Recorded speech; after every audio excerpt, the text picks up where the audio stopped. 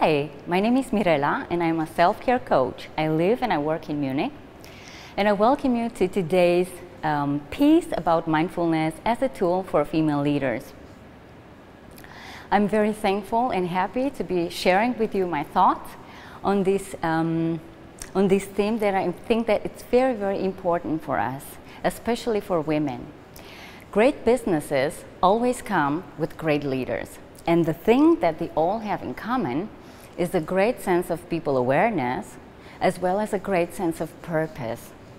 So what you're going to learn in the next few minutes is how to be a mindful leader, the power of living in here and now, and also you will get three tips on how to overcome difficult situations. Well, let's begin. My first question to you is, I'm sure you've heard of it often. What is mindfulness anyway? What is mindfulness? I'll give you a tip. It's in the word, fullness.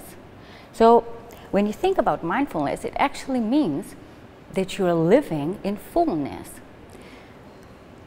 In order to do your job as a leader and in order to be able to serve other people and your team, you cannot be you cannot serve from a place of lack, from a place of something is missing, I don't have enough money, I don't have enough time, energy, I don't have this or the other resources.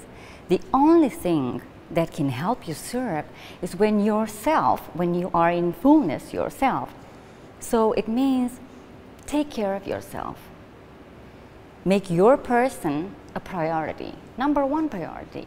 Because a wise person once said, could have been a woman, you cannot pour from an empty cup. When your cup is empty, you cannot give.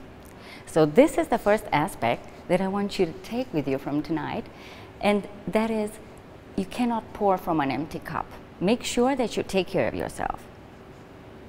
Now, the second aspect of mindfulness, and a very interesting aspect, is that we live in here and now. But most of the time, our thoughts are so wrapped up in what happened yesterday, what happened a year ago, what happened a few years ago. And we start feeling regret or negative feelings. So we basically live a lot of time in the past. But the past is past. You cannot change it anymore. So there is no point in living in the past. And there is no point in living in the future we are so often afraid of what might come, what might go wrong, that we forget to live in this moment right now. So this moment right now has the power to change everything that comes, to change your reality, to change your life, your future, your career. And this is the moment that you can choose. It has the power to change everything. And the third aspect from today that um, I think it's going to be someday very, very useful to you is that mindfulness is not only a philosophy, but also it gives you a lot of tips on how to overcome difficult situations. Like take for example, the last time you had a difficult situation with a client or your boss was maybe in a bad mood that day or maybe an employee was quite angry. Anyway, difficult interactions where you think, hmm, what can I do about it? Well, mindfulness can help you. The first tip that you can use before such an interaction is breathe. It sounds simple, but breathing, taking deep breaths, can help you refocus and will help your body understand the message that, oh, I'm not in this mode of fight or flight where I have to fight for my life, but I am in the safe mode. So taking deep breaths, inhaling and exhaling at least three or four times will help relax your body and you will come back to yourself. Refocus. The second tip to overcome difficult situations is when before having the meeting or before making that call is when you visualize the other person or persons in front of you and you visualize them apologizing to you. Apologizing for all the things that they might have said, they might have done that might have hurt you, and you visualize yourself apologizing to them. What happens is, the moment that you apologize, you remember when somebody said sorry, you're like, yeah, it's okay. So the moment you apologize, what happens is these entangled feelings and negative energy from past interactions, or maybe your fear of having um, a negative response from that person, these negative interaction will then dissolve. You will get the feeling not of complete relaxation, but the feeling of relief. You know, I'm on a neutral ground. And the second thing about this tip is that your subconscious mind does not know the difference between reality and imagination.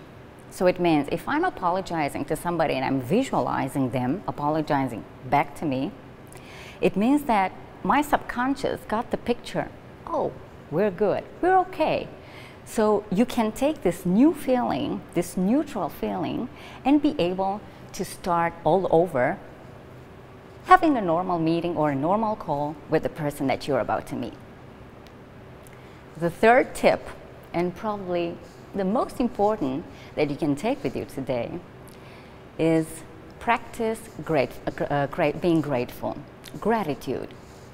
Every day when you go to sleep, when you're just laying in your bed and eyes closed, think about all the people and the moments that you feel grateful for during that day all the small successes and the big success, successes that you've had.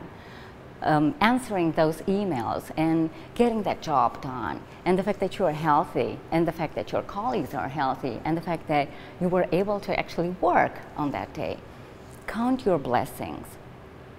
This will help your brain be in a more positive mindset before you go to sleep and will remind you of how blessed we really are especially in these times that we are living, and also add a little, a little more something to that fullness cup that I was talking about. So the three tips, breathe deeply, visualize how you apologize to, to the other person, and visualize how they apologize to you, and practice gratitude. So if there is something that you can take with you today, I would love you to take the three big aspects of mindfulness. You can never serve from an empty cup. Make sure that you don't lead from fear, from fear of the future, from a regret of something that happened, that you don't lead from a place of ego, that you lead from a place of heart. So you can add heartfulness to your mindfulness. And the third thing are the tips that I think that will help you someday um, and I hope that you don't have a lot of these situations, but it's important that you know them. Breathe deeply and um, make sure that you practice gratitude every day and that you visualize how you apologize to that person.